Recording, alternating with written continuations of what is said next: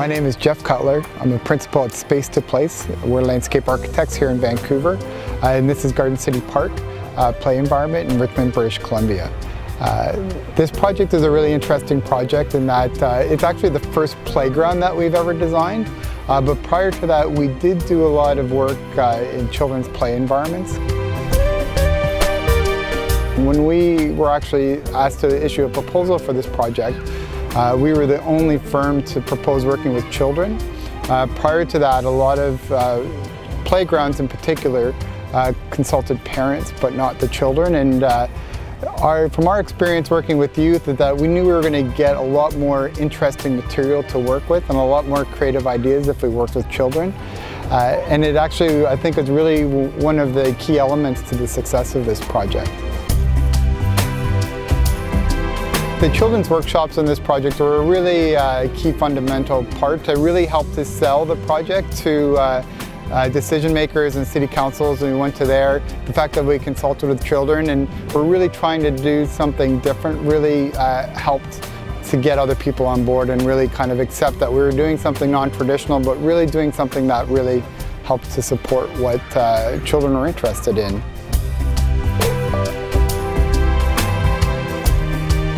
One of the key fundamental uh, elements to this project is that uh, children's playgrounds over the last 15 to 20 years have really uh, become quite sterile and formulaic. Uh, and a lot of that is due to safety concerns. Um, and we really thought there was an opportunity here to do something different, to really design a place that was more experiential, that was really more unique to this place, uh, and really uh, treat it with the respect and uh, consideration that we would any other public space.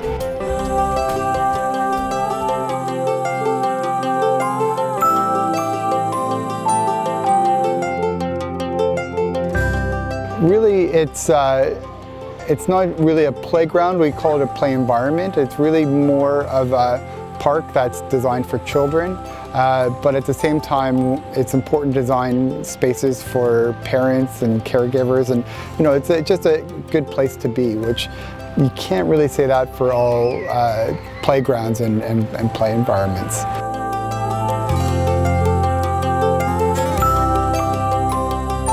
One of the key aspects to this was really looking at ways we could bring uh, children to have a better experience with nature. Uh, so introducing water into the site, uh, introducing these uh, reclaimed uh, cedar logs, the one right behind me is a good example of that. Uh, and as well, having planting quite integrated into the park as well is really something that I think really led to the to the success, and uh, um, you know we've been really happy with the way this this project's turned out.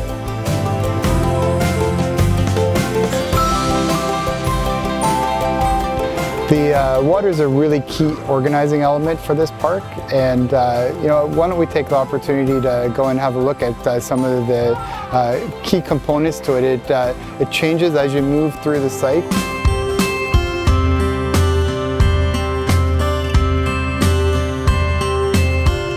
The water element in the park is actually quite a simple feature. It's just uh, one water source with a water channel that uh, drains out into the lake.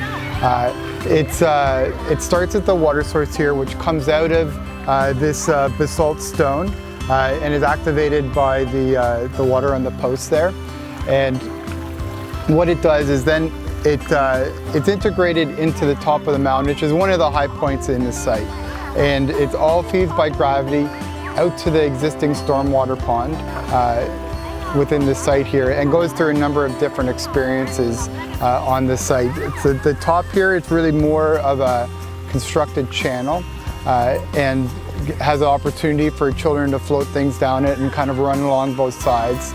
Then it goes to uh, this weir structure that uh, captures the water in behind it and allows for actually quite large volumes to flush the channel out uh, and, create a whole different experience for the children. Uh, and then the third part of the water channel is that it reaches uh, an area that we've ended up calling the mud flats.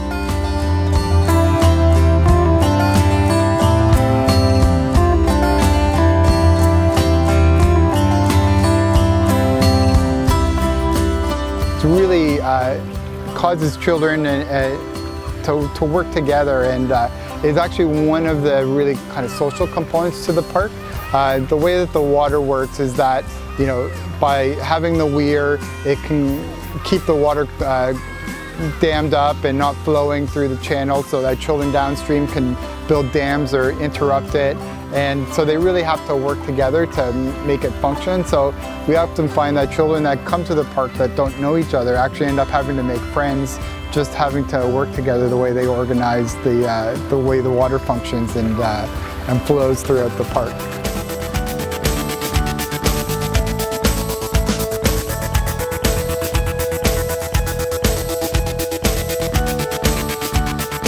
Yellow poles behind me, they're uh, gateway elements that came directly out of the workshops that we had with children. And really what we saw when the children produced models was they had uh, gateways around the surrounding of the, the place that they developed and really kind of identifying where their place is. And so claiming, uh, claiming their space. And we thought that was really interesting. And a lot of times there would be numerous gateways uh, within the designs that they had. Uh, so on this project we uh, actually have two gateway elements. We have the yellow poles behind us, which are kind of a fun thing that really change dynamically as you move through the space. Uh, the other gateway we have are these uh, red poles, which has now been called the licorice forest.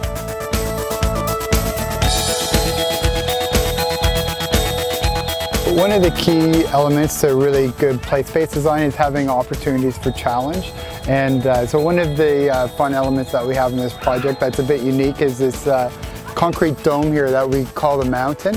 Uh, it's about five feet high and it's actually quite a challenge to get to the top and it's something that often children like to, to try and do. It's actually polished smooth so it's quite uh, smooth to slide down. Uh, and then something that also is complementary to that is an element we call the valley, which is uh, just a dish, a concrete dish, which is just sits right beside it and complements it.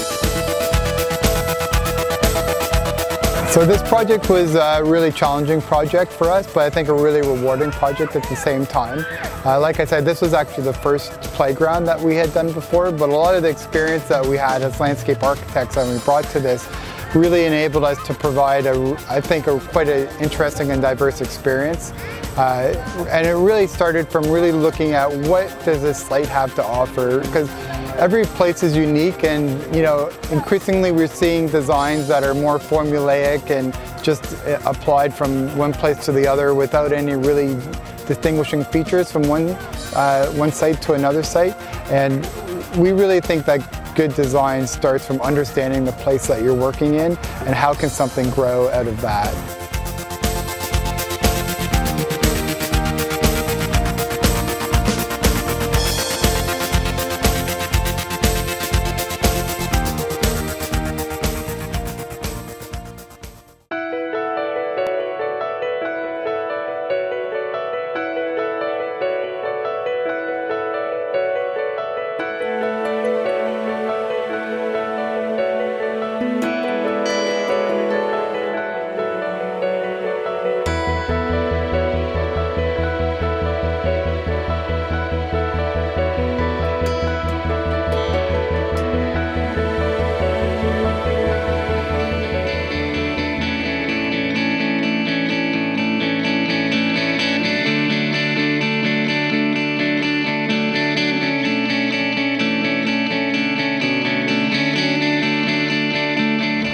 Mark van der Zalm. I'm a landscape architect here in Vancouver and um, today I'm here to talk to you a little bit about this project, the Vancouver Skate Plaza, and a little bit about how it came to be developed and, um, and uh, how we were involved in the design, development, and construction of this unique project.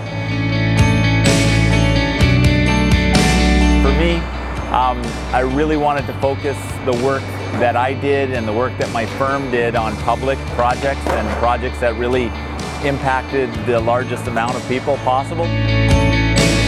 And so uh, when I was working for other firms, I was always looking for that opportunity to get involved in playgrounds or public parks or plazas.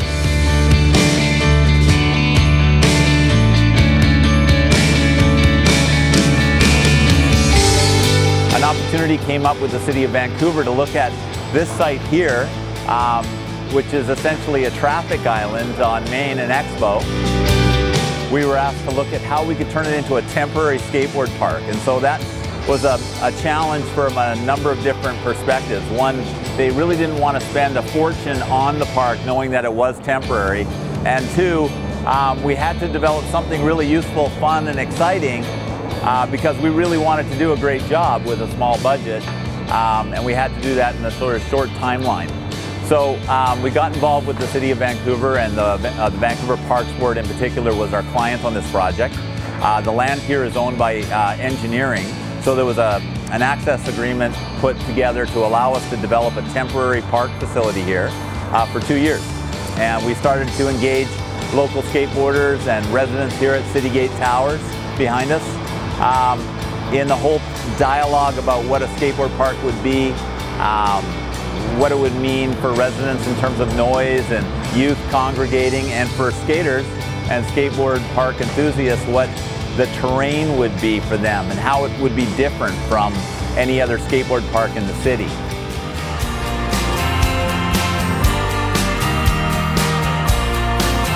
What came about from those meetings in, at the Roundhouse Community Center talking to skateboarders and, and residents alike was that there was kind of a fear of the unknown uh, from uh, residents nearby about what it would mean to have skateboarders here at all hours of the day because it's an urban environment with lighting underneath the, uh, the Georgia Viaduct here.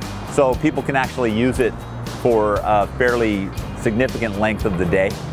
Um, and so after a series of meetings, we got to some consensus that skateboarders would be respectful of people who live nearby and, and the Vancouver Skate Coalition was very instrumental in passing that message to residents. And then in working with the coalition and skateboarders alike, we really wanted to develop something completely unique for skateboarders, and that was the Vancouver Skate Plaza.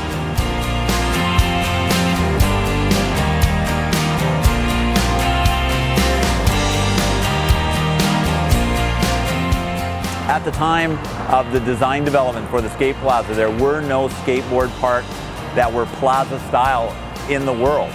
There were plazas, public spaces that were used for skateboarding, and that were heralded in skate magazines um, all over the world for their unique skateability in terms of, you know, Barcelona public spaces with uh, lots of open space and granite and um, uh, different places in the south of France and of course Embarcadero, Pier 7 in San Francisco. All of these public spaces that were great for skateboarders but were being shut down because people were getting into conflicts with people recreating in public spaces. So we wanted to create a plaza style development here that would mimic those spaces on a shoestring budget.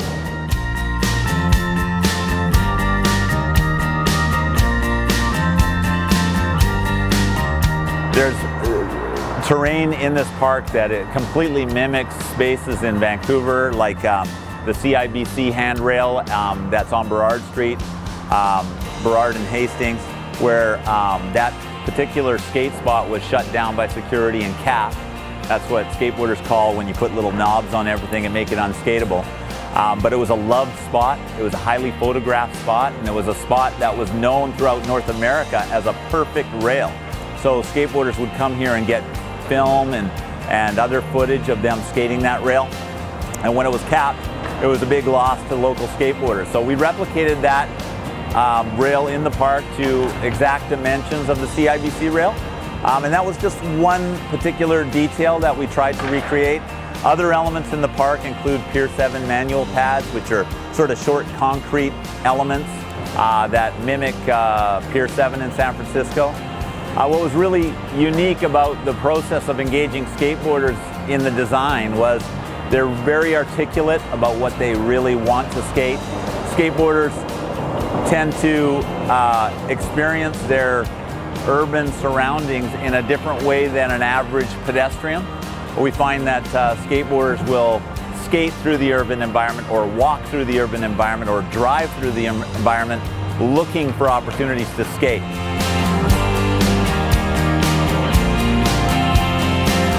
We were able to get granite cheap and use that to cap various ledges in the park and make them uh, just that much more special. There was no granite in any skateboard parks in Vancouver. let alone Western Canada, and it was very unusual anywhere in the Pacific Northwest to find granite. So that was really unique here and was really good bragging rights for Vancouver skateboarders.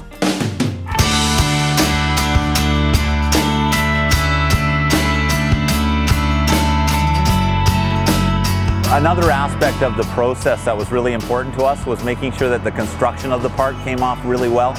And um, that was really, really helped by the fact that we pre-qualified contractors and we were able to work with a team called Newline Skate Parks. And Newline is well known in the skateboarding community as uh, users and as advocates uh, for skateboarding. Uh, and they also run a fairly significant company that employs skateboarders for construction and design. So we worked with Newline Skate Parks to make sure that this park was designed and built to exacting standards.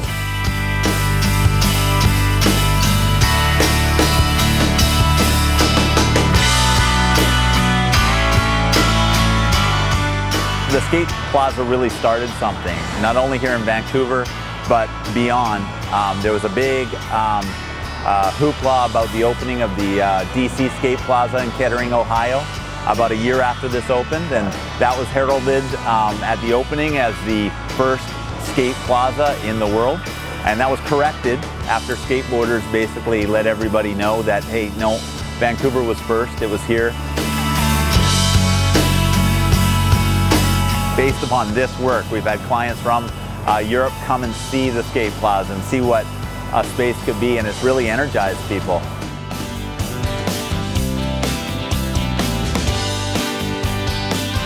Skateboarders ultimately like to skate the urban environment and that'll never go away. So we tried to create that opportunity by putting in real granite uh, uh, ledge, ledges. Um, essentially these are just three 75 mil granite pieces that were taken from the Slam City Jam uh, event at BC Place and installed here. And you can see how this has been waxed. Skateboarders will put wax on this edge and then they'll grind it so it's nice and smooth.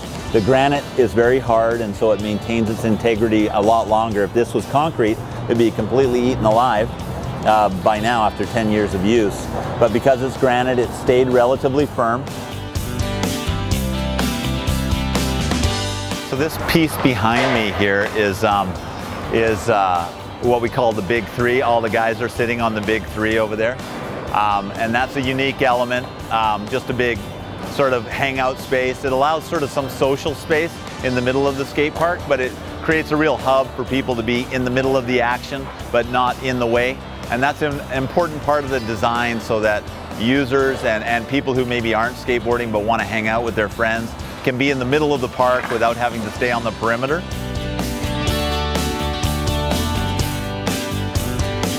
Since um, the park has been such a big success for Parks Board, they were able to negotiate the unlimited, sort of the lifetime dedication of this space as a park. And it's no longer a temporary installation, it's now permanent.